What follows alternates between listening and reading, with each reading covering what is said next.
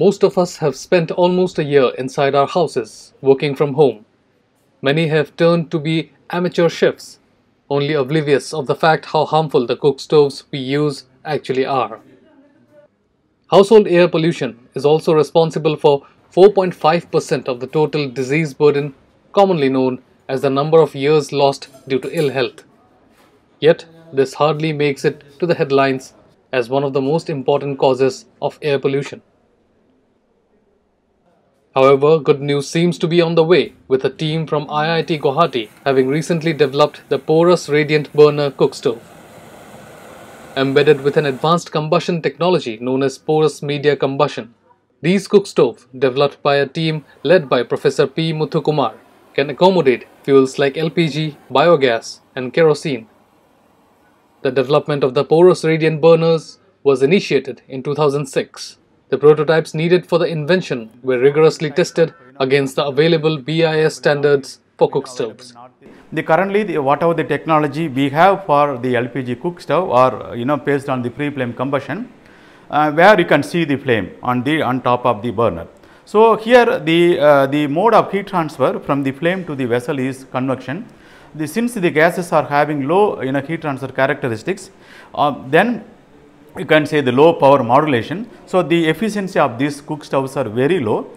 They were in the order of about uh, 60 to 65 percent. Though um, few manufacturers claims higher efficiency but if you see uh, their uh, if you test this burner at actual condition you will get the efficiency close to about 65 to maybe about 68 percent.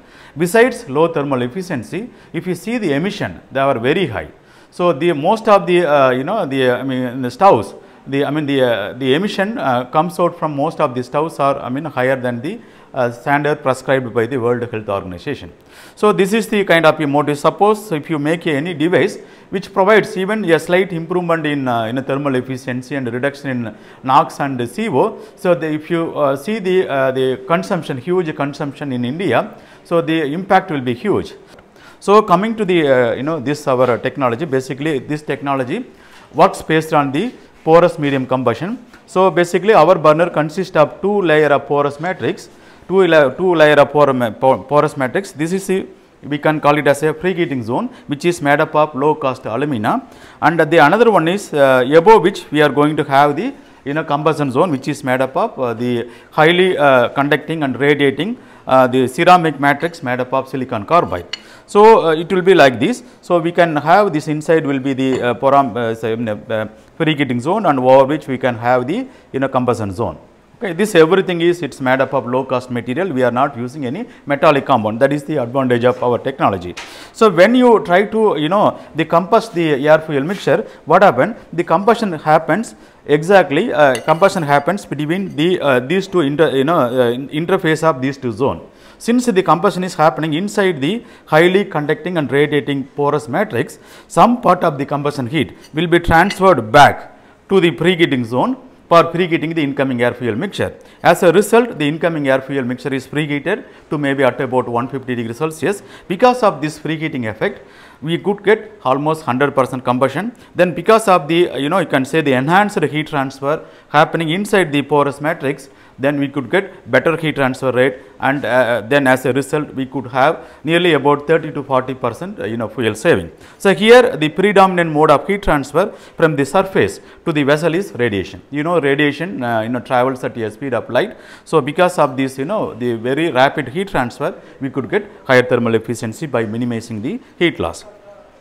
Okay. So, we have the uh, we have applied this technology for the you know, domestic cook stove development. We got efficiency up to about 82 percent which is uh, you can say uh, against the conventional burner efficiency of maybe about 68 percent. Whereas, for the, the this is the one is meant for the commercial cooking application whose power range will be about 5 to 10 kilowatts. Here we got efficiency close to about 65 percent.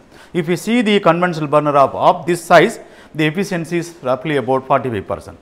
The research team plans to commercialize the technology within a year and corroborate with industrial partners to extend the research of these cook stoves in the Indian market. The research team believes that the work will have a global impact on the burner based applications and their multi billion dollar market worldwide.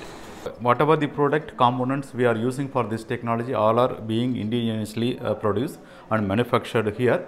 We are not importing any you know product associated for this burner from outside. All are indigenously uh, I mean generated technology. So this uh, technology is already transferred to a commercial partner, our industrial partner named uh, Mrs. Agnisumukh uh, uh, Energy Private Limited, and uh, there will be of course. Uh, I'm happy to you know make a note here that there will be of course.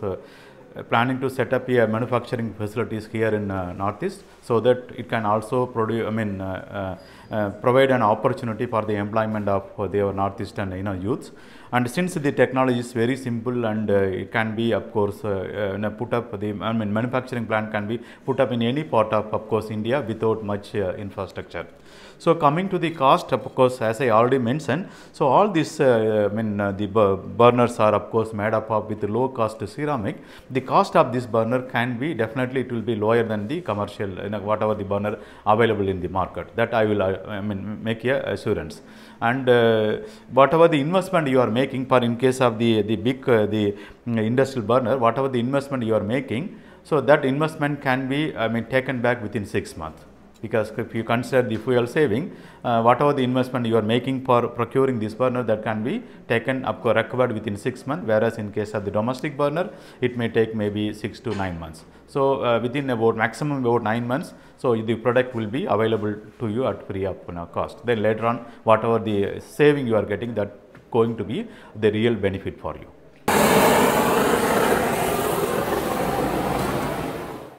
Don't forget to like, share, and subscribe to East Mojo. For any queries, put them down in the comments section below and press on the bell icon for notifications.